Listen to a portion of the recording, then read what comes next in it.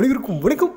இன்றைக்கி நம்ம தகவல் சிறுதை சேனலில் பார்க்குறது வந்து ஆடு தின்னாப்பாலை மாற்றடியில் அமைந்த ஒரு வெள்ளை பூச்சில முட்டை வடிவிலுடைய இலைகளை உடையும் தரையோடு பிளந்து வரும் ஒரு சிறு செடி ஒரு முதிர்ந்த நிலையில் வெடித்துச் சிதறும் காய்களை உடையது.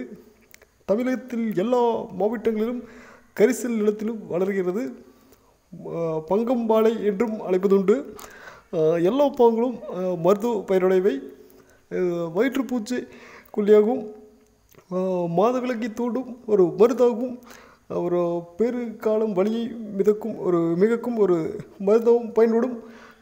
இதுக்கு நாம் எப்படி இந்த மருந்து தயாரிக்கிறது அப்படின்னா ஒரு பத்து கிராம் பத்து மில்லி ஒரு இலைச்சாறு காலை மாலை குடித்து வர ஒழுங்கற்ற மாதவிடை சீராகும். விட்டு விட்டு வரும் காய்ச்சல் குணமாகும். இலைச்சூர்ணம் வந்து ஒரு இரண்டு சிட்டியை அப்புறம் இந்த வெந்நீர் கொள்ளு பாம்பு விஷம் அதாவது வெந்நீரில் வந்து கொள்ளு பாம்பு விஷம் சில விஷம் அப்புறம் மலக்கிருமிகள் அப்புறம் கருங்குட்டம் யானைத்தோல் சொறி தீரும் அப்புறம் பார்த்திங்க அப்படின்னா இந்த வேரை வந்து நம்ம அரைச்சி காலை வாழை ஒரு ஐந்து கிராம் கொடுத்து வர அதில் என்ன ஆகும் அப்படின்னா கடும் பத்தியத்தில் வந்து வேறு வைக்கும்போது புது பானையிலேருந்து உப்பு உப்பில்லாத ஒரு பச்சரிசி அப்புறம் வந்து இந்த பொங்கல் வந்து இருபத்தி நான்கு மணி நேரம் தூங்க விடக்கூடாது. அப்போ வந்து நம்ம மூன்று நாட்களில் எல்லா விதமான பாம்பும் நஞ்சும் தீரும்.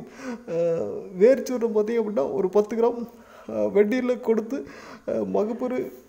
ஆஹ், வேதனை வந்து தீர்த்து அது சுகப்பெரும் ஆகும். அப்புறம் பார்த்தீங்க அப்படின்னா அந்த விதைச்சுருடம் ஒரு அஞ்சு கிராம் விளக்கெண்ணெயில் கொடுத்து நன்கு வேதியாகி பேதியாகி அது வயிற்று வலி அது போக வந்து சுதகத்தடை முறைக்காய்ச்சல் அப்புறம் மகப்பேட்டில் வந்து போதும் தே- வேதனை அப்புறம் மலக்கிருமிகள் நீக்கும் ஒரு அற்புதமான ஒன்று இந்த ஆடு தின்னாப்பலை நன்றி வணக்கம்.